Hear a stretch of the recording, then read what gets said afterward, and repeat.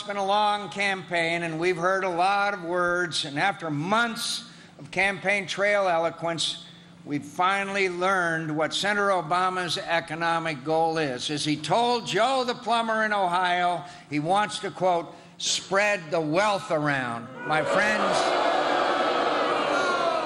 now Joe's getting smeared for asking a tough question. Isn't that disgraceful? He's getting smeared. He's getting smeared for revealing that Senator Obama believes in redistributing wealth, not in policies that grow our economy and create jobs. The plumber has become one of the biggest talking points and one of the most powerful symbols in this presidential election campaign. Plumber Joe Wurzelbacher's name came up 26 times in the last presidential debate.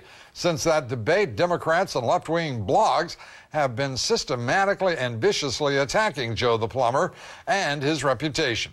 First, let's hear what Senators Biden and Obama had to say about Joe. If you notice, John continues to cling to the notion, evidence the fact this guy, Joe the plumber. I don't have any Joe the plumbers in my neighborhood that make $250,000 a year and are worried. The Joe the plumbers in my neighborhood, the Joe the cops in my neighborhood, the Joe the grocery store owners in my neighborhood, they make like 98% of the small businesses less than $250,000 a year. And they're going to do very well under us, and they're going to be in real tough shape under, under John McCain he's trying to suggest that, that, that a plumber is the guy he's fighting for.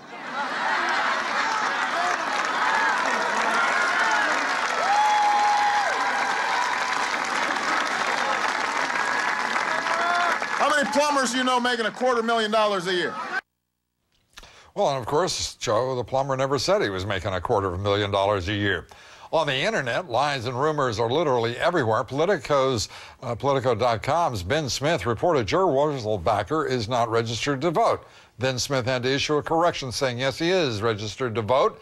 Elsewhere on Politico, Jonathan Martin reported Wurzelbacher has a tax lien against him for about $1,200, but a court representative says Wurzelbacher may not have known that that lien existed at all. The Toledo Blade newspaper reported Joe the plumber isn't licensed. Wurzelbacher says he doesn't need a license. We contacted the United Association of the Plumbing and Pipe Fitting Industry, that's the nation's largest union for the industry, thinking they might uh, defend Joe Wurzelbacher, but Joe is not a member. In point of fact, the union is supporting Barack Obama because of what it calls his compassion for working people. Senator Obama today intensified his attack against Senator McCain and his economic policies. Campaigning in Tampa, Florida, Obama declared his own economic agenda has nothing to do with socialism. Now, a few days ago, Joe Wurzelbacher was just another guy from Ohio who worked in the plumbing business. And then Barack Obama approached him while walking a Toledo neighborhood. It became the encounter heard round the world. Your new tax plan is going to tax me more, isn't it? It's not that I want to punish your success. I just want to make sure that everybody who is behind you, that they've got a chance at success too. I think when you spread the wealth around, it's good for everybody. Oh, spread the wealth around. Those four words did more to illuminate where Obama's economic thinking will take America than all of the McCain town halls and press statements. The Obama camp was caught totally off guard by the outpouring of public support for the common sense of plain spoken Joe. By helping Americans realize that there is nothing fair about Obama's tax plans, he put Obama on the defensive big time. He exposed the lie that Obama's tax plan only affects the wealthiest Americans. And now the race is neck and neck again. As for John McCain, he quickly realized that Joe's message was resonating, and he referenced his story several times during the final presidential debate. This is when the Obama campaign and their boosters in the media sprang into action. Joe, a working class American who wasn't buying into Barack utopia, had to be taken down and fast. And it wasn't just the left wing bloggers who rifled through tax records and made calls to the plumbers union. NBC president Jeff Zucker unleashed the full force of his network to stop this Joe Mentum. Bloomberg News is reporting that uh, Joe the plumber owes more than $1,000 in back taxes. There's a report that he doesn't have the proper license. And anyway, the story gets better. It turns out America's most famous plumber isn't really a plumber. Reporters today uncovered that Joe Wurzelbacher doesn't have a plumbing license in Ohio. Oh, great investigative reporting. Well, NBC had a satellite truck parked outside Joe the plumber's house yesterday. I have a question.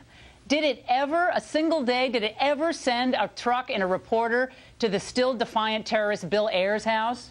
Has NBC ever really dug into the nature of Obama's relationship with Acorn, now the subject of an FBI investigation in 12 states? You know the answer. N-O, no.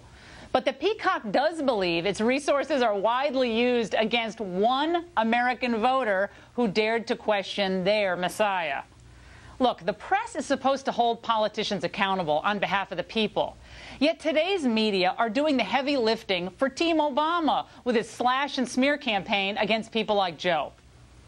Is this type of bullying and intimidation what Americans can expect from an Obama administration in response to serious criticism?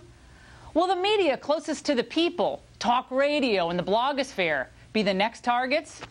God help us. He was said to have not, not been a registered voter. That's false. Registered in Ohio, voted in the primaries. He was said to be fantasizing about his future business prospects on The View. That's Joy Behar said that. People asked whether it was a plant from the McCain campaign.